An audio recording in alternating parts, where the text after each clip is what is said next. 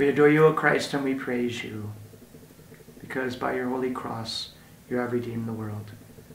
But we gather and we start these stations together this day, and we come before you. Bless us and help us to make our way to Good Friday, to be united and to accept the experiences of our day through Christ our Lord. Amen. Our Lady, Virgin of the Poor, pray for us. Saint Joseph, pray for us. Many of us in our lives, when we are given a gift, we don't always understand the implications of the gift. We don't always understand the intention of the giver. This little boy, I've always would receive gifts, and I know they were for me at that moment, but they also had a probably a deeper purpose. My dad and mom would often give me like little cards or different things. I look back now every once in a while and I see maybe there was something more profound. You know, many of us have heard the phrase that the wood of the manger is reconfigured into the wood of the cross. It's dis disassembled and then represented to Christ. But I wanted to put before you that many of us would say, okay, Lord, I'll accept my cross, which is the second station.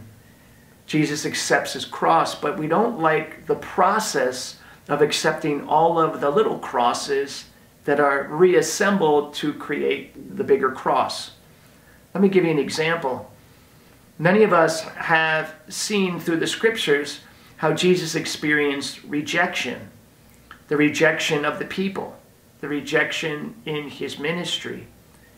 How do you respond to those rejections, those little crosses that will eventually become wood that will be assembled for bigger crosses, the bigger cross, I should say.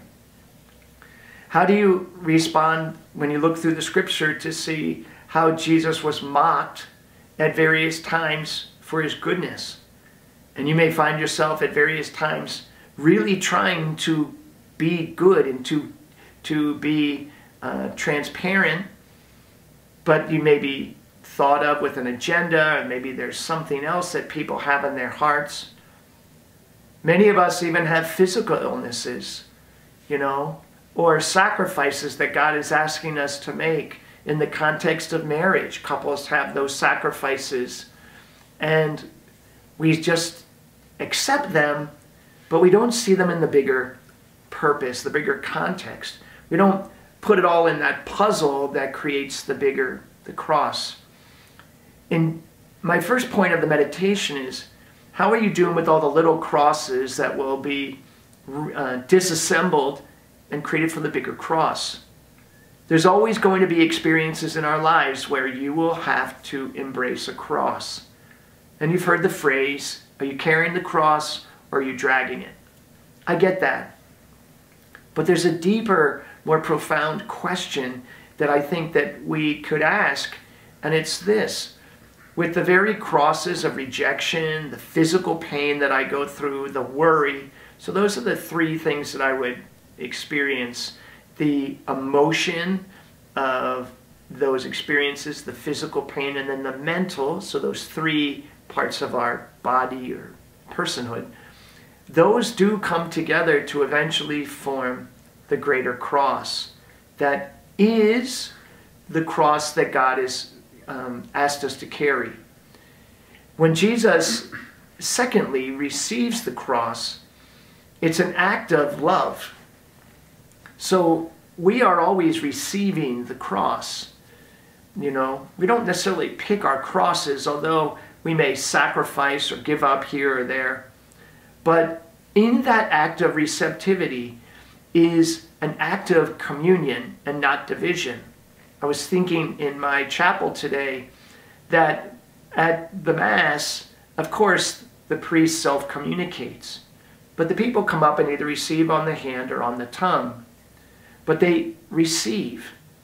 So many experiences of life are created how we receive. Okay?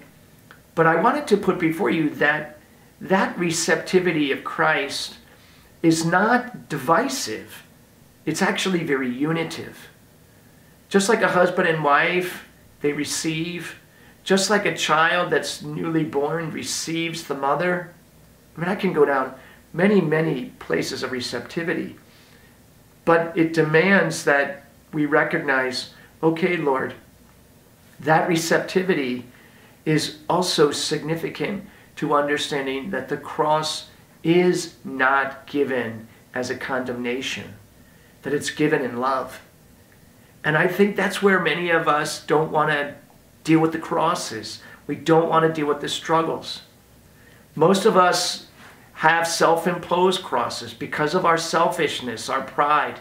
Look, there's patterns of selfishness that all of us have that have consequences. And people come to me and say all the time, Why did God allow this? And I say, Look, man, you made the choice for that pattern of sin. God doesn't want what you're experiencing family breakup, issues in your vocation. I mean, I, all of those. But you have to look at what you contributed. What did you do that caused that division or that divisiveness? Or even what did you inherit? What did you receive? Because there will give you some clarity to how you approach the cross. And finally, is to recognize that in this act of receptivity, Christ's cross is not just his own cross. It is really the cross of all of the of, of all of humanity. One thing that I, I'm struggling with now is that when I celebrate the Mass, I receive the Eucharist. And I feel like um, a person that's eating and looking out at the empty pews in my church, and everybody's hungry, and everybody's famished. And I feel this quasi guilt in my heart. Like, who am I? And I don't want it to promote, uh, propose guilt in my heart, but I also want to be grateful. But I feel very distinctly that, you know, the concept of sacrifice that God is kind of speaking into my heart, into my selfishness, is very much what is um, being invited of and accepting the cross. Give up the cross, give up the cross. And so, in this first point of meditation today, I just want you to chew on these two points. First of all, to recognize that God, who is good, is reconfiguring all the crosses. And what is one what are the crosses that God has reconfigured to date in your life that are being put together like a puzzle, so to speak, into a bigger cross, which is unity, not division.